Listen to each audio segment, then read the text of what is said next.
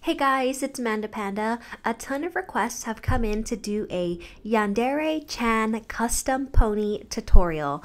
I've never done a human looking custom before so let's see how she comes out to make yandere chan i'm using pinkie pie i'm starting off by removing her cutie mark and eyes with some acetone Next, I have to remove Pinkie Pie's head since she is going to get new hair. And to do that, you just twist the head to the side and it should pop right out like this. Next, I'm going to remove the neck plug.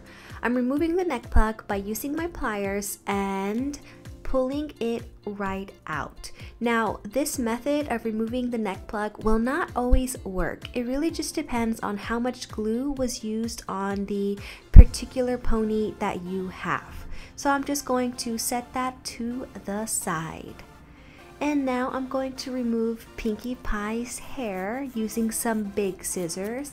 And then I'm going to go in with some smaller scissors and cut that hair all the way down to the root. And this part is really important to making the hair removal process easy. Now I'm going to take my long nose pliers and stick them directly inside the head and pull out all the remaining hair and glue. And once you're done, your head is going to look like this. She's completely bald and ready to be customized. But first, we need to prep the body. Now, you can see that this plug is not going to come out easy like the one that we just did on the head. So what I'm doing is I'm taking an X-Acto knife and I'm going to make lots of little tiny cuts all around the neck plug. And then I'm going to use my pliers to pull that neck plug out. And using the X-Acto knife is dangerous work, you guys. So make sure that you get your parents' help because I don't want anybody cutting themselves. Once the neck plug is out, it's time to remove her tail. And this is super simple. You just put your pliers inside the body and pull out that entire bunch of hair. Just like that. And you can just toss this because you're not going to need it anymore. And now the head and the body are both prepped and ready for customization. I've mixed flesh tone and white acrylic paint to create a very fair skin color that matches Yandere Chan. And I'm just taking that on a wide brush and I'm going to completely cover her head and then paint her front two legs and the front of her body. And once that's dry, I'm going to go over it and give it a second coat of paint. And here's the head, it's completely dry and it's time to start working on the face and the eyes. But before I work on that, I'm actually going to seal this paint in. And you can do that by using an acrylic paint sealer like this or you can use clear nail polish. It is completely up to you, it's your preference and you know whatever you have already on hand. Once your sealant is dry, it's time to start working on the face. I'm going to begin by using some coral colored acrylic paint and I'm going to go in and dab it with a small sponge to create the pink in Yandere Chan's cheeks because whenever she sees Senpai, she instantly gets flushed because she just has the biggest crush on him. Now I'm going in with some white acrylic paint, outlining the eye. I've taken a pencil and I've sketched out the shape of her actual eye and her eyelashes and I've drawn that in off camera because I did have to use a very very fine brush and that would have been very hard for me to do on camera. The good thing about using nail polish as a sealant is that you can actually scratch off any acrylic paint that's on top of it. So I just gently used a q-tip and I removed some of the white on the inner corner of Yandere Chan's eye because I felt that it was too much white um, right there in the corner.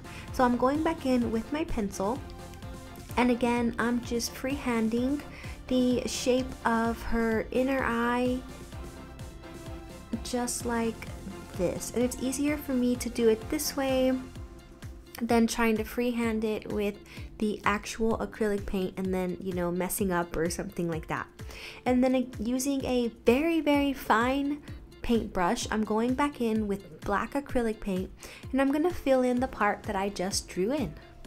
When I started getting all these requests to do Yandere-chan, I honestly had no idea who or what Yandere-chan was, so I had to kind of investigate it a little bit. And so Yandere-chan is a well is the main character from a video game called Yandere Simulator, and it's basically a dating game with a girl who's in love with the guy named Senpai. It seems cute, but I've actually never played it, so I don't know, maybe I might just to see what it's all about. And so back to the eyes, I've painted in the black and the gray and using a needle, I'm to try my best to make the shape of a heart as the little reflection in her eye. The cartoon drawing of Yandere-chan that I'm looking at has a white little dot on her cheek, so I'm putting that in with a nail dotting tool. Going in with my fine tipped paintbrush, I'm using some black acrylic paint to give her a cute little smile. And the face is almost done, we're just missing her eyebrows. And the eyebrows are going to be covered with hair, so if yours don't come out perfect, don't make too big of a deal out of it. And once those are in, you're going to want to seal your face up so that way none of that hard work gets chipped off. And back to her body, she has on black leggings. So to recreate that look, I'm using some black nail polish and I'm completely filling in the rest of the body. She also has a white t-shirt on. So I've put some striping tape down to where I want the sleeves to end and I'm going to go in with some white acrylic paint and give it two or three coats to make sure that it's completely opaque and give her her shirt. And Yandere-chan has on the typical sailor uniform that a lot of schoolgirls wear.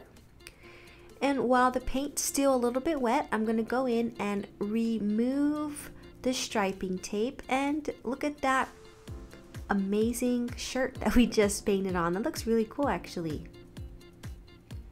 And be very careful here not to smudge it. But if you do smudge it, um, just go in with some more of that nude color and fill in any white that you might have accidentally painted on. I'm going in with a very thin brush and painting the double stripes that are that are on Yandere-chan's arms. So there's the first set of stripes and I'm going to go in with the second set of stripes and try to make these stripes the same width apart. And there they are. She's really coming together. This looks pretty neat.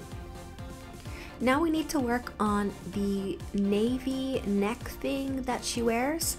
I'm using some air dry clay and I have Rarity here as a model. I'm going to roll out a little bit of air dry clay just using a marker or if you have like a real rolling pin you can always use that too and just make it thin.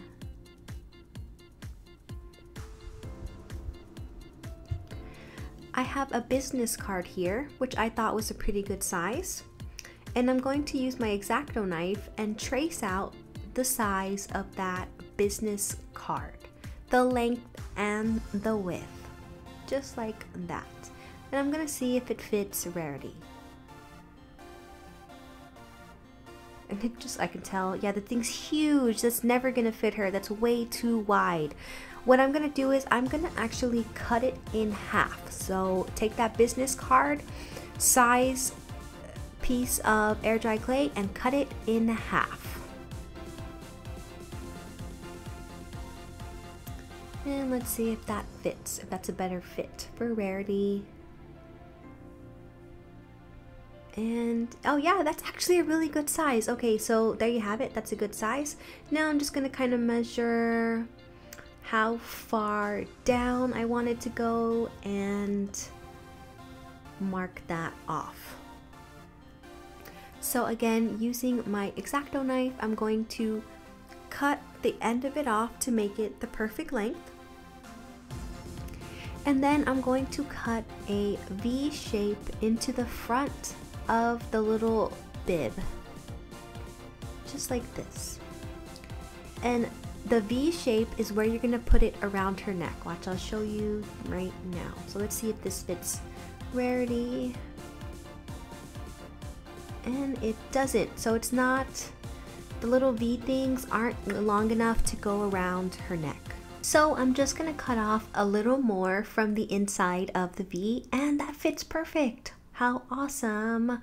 I'm going to kind of shape this onto Rarity and let it dry overnight. I'm gonna try and channel Rarity's dressmaking skills to make Yandere Chan's skirt. I'm using ribbon that's one and one half inches thick and I've cut out a 8 inch section. I have folded over one corner of the ribbon and put a small dot of hot glue just at the top. Now I'm going to fold that little section onto itself and secure it with another dot of hot glue. And this is how we're going to start the pleats, just like this. And then I'm going to pull that pleat inwards, like that and again securing it with another dot of hot glue. So I'm going to fold it back and then fold it back out.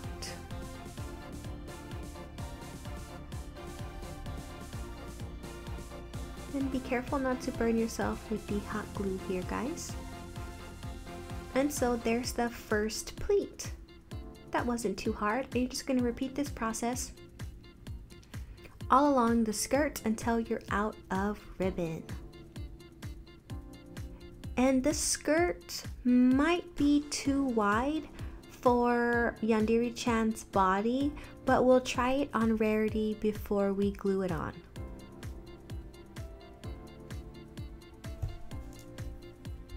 It's coming out super cool. And so here's the finished product. And let's see. Yeah, this is a really good fit lengthwise for Rarity, but it is too wide, so I'm going to cut off about half an inch there.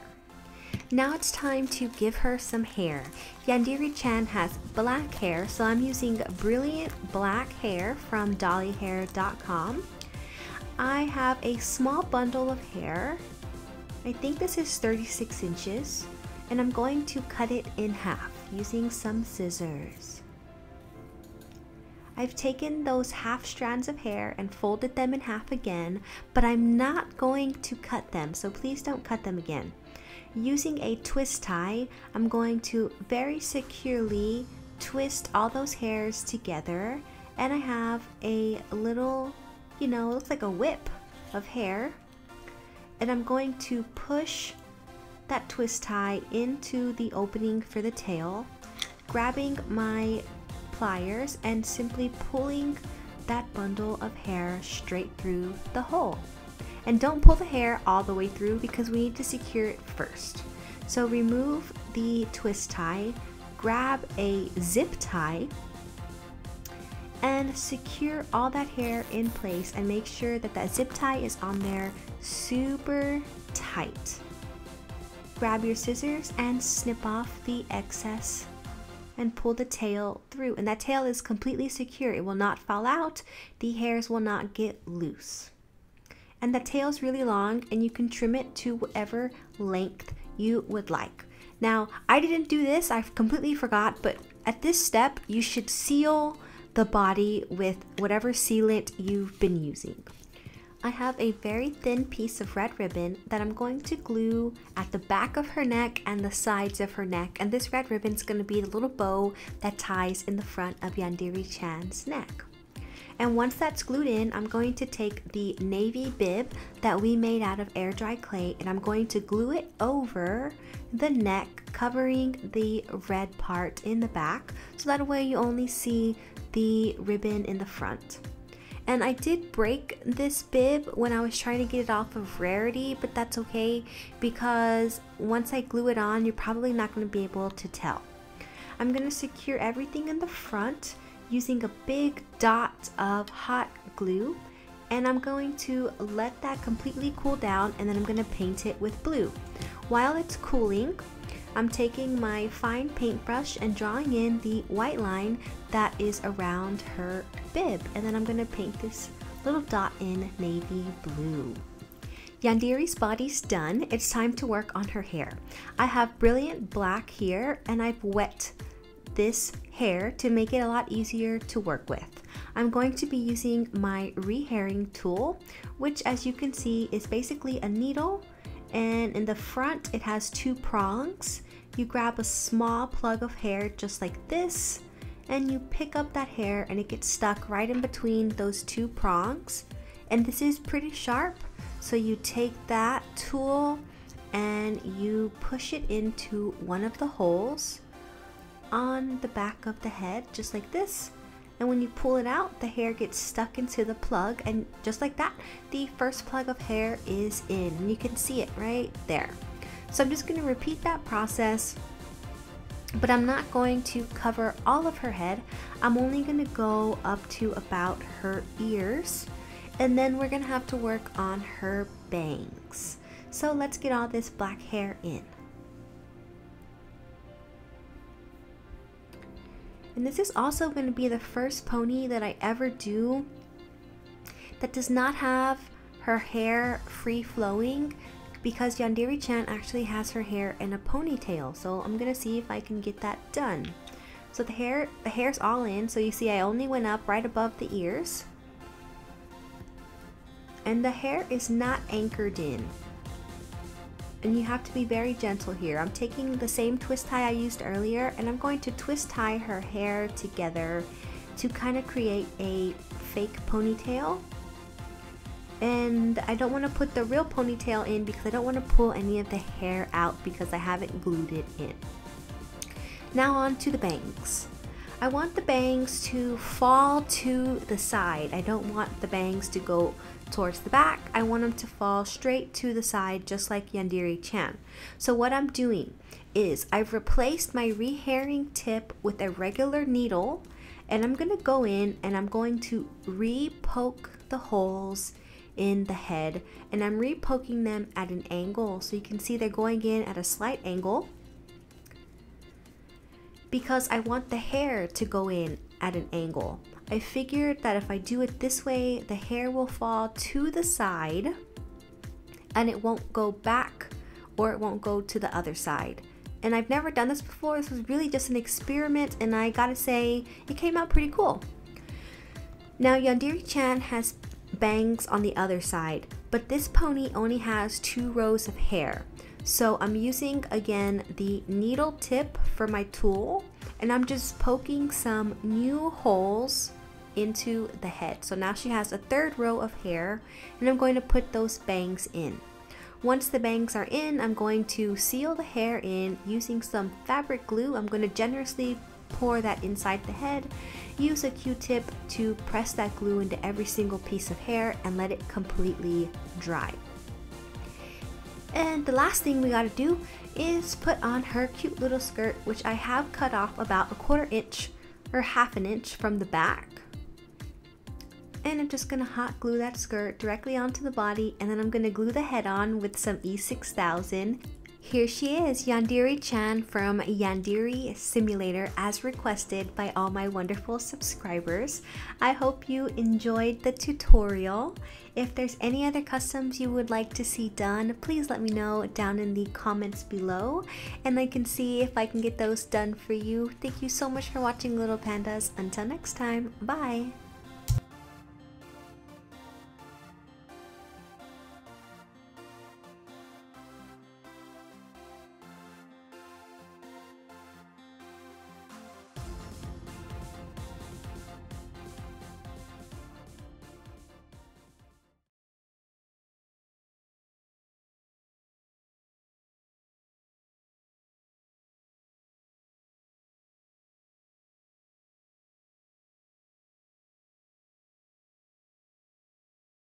You can find me online. For the latest news and updates for the channel, you can follow me on Instagram, Manda Panda Toy Collector, like my Facebook page, facebook.com backslash Manda Panda Toy Collector, or you can add me on Snapchat, Manda Panda TC.